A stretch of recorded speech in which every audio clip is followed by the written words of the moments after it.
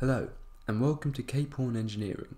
In this short video I will talk you through the steps to successfully submit your first sails simulation in an automatic web-based simulation service, the Aerosim portal. You can access the Aerosim portal by visiting the Cape Horn Engineering website and clicking on the Aerosim portal at the top menu where you'll find some general information and the link to the login page.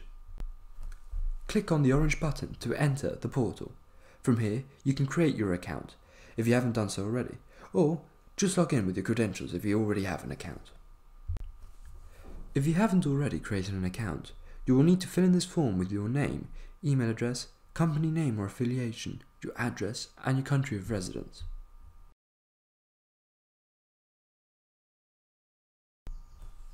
You will immediately be logged onto your account and you can start submitting simulations. However, it is advisable that you familiarize yourself with the portal before doing so. On the top menu you will find access to your profile where you can check your available tokens and edit your information. For instance, adding your VAT number if you have not done so during sign up. On the top menu you will also find the user guide or by clicking the orange button. Please review the user guides carefully at least once. There you will find information about getting started, the description of the required and optional inputs, how to prepare your geometries, and the default coordinate systems. If you have any doubt, please contact us via email, phone, or Skype, and we'll be more than happy to assist you and clarify any questions for you. Please pay particular attention to the sailing conditions, which are used in the runmatrix.csv.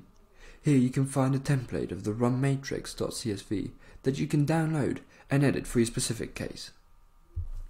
To prepare a submission, you will need to create a single zip file containing the CAD files and the runmatrix.csv. Here you can see a runmatrix.csv with three cases, with all the headings taken from the user guide. You can give the zip file any name you'd like. However, the runmatrix.csv file should be named in that specific way. Once the file is prepared, Check your profile to see if you have enough tokens for the number of cases you want to run. We prepared a run matrix with three cases so we have enough tokens here. But if you require more, you can purchase additional tokens. Out of comfort and security, we use the PayPal payment system. You can pay using an existing PayPal account or simply check out as a guest with a debit or credit card. Next, back to the home in the portal, click on the orange button Run Simulations to upload your cases. You can then upload the zip file created earlier, give the simulation case any name you'd like, and submit it. Once submitted, you will see the simulation listed below. While the simulation is running, you can download StarView Plus that will allow you to view the visualization file delivered with the results. You will find the download button on the user guide. Simply click on the button and run the file. The simulations take on average less than one hour to complete. Once they finish running, you will receive an email notifying you to log onto the portal to download the results. Once you have downloaded the results, you will find report PDF files that are generated by the Aerosim portal for each case.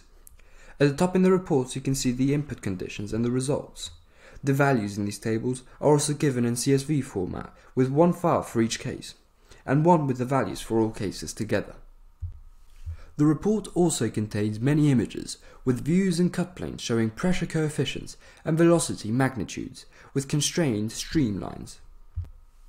If specified in the run matrix, the results can also come with the pressure file for you to use with your own FSI software.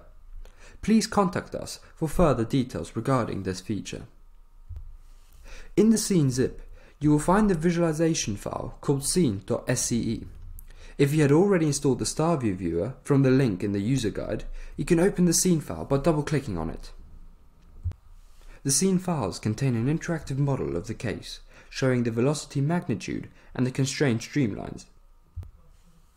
You can change the side views by using the shortcuts S to show the side views, F to show you the front or back views, and T to show you the top or the bottom.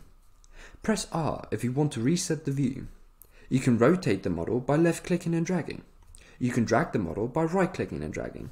And you can zoom in and out by scrolling with the middle mouse button. Thank you for watching. We hope you have a smooth start using the service. And remember, contact us if you're stuck or having any issues with your simulations.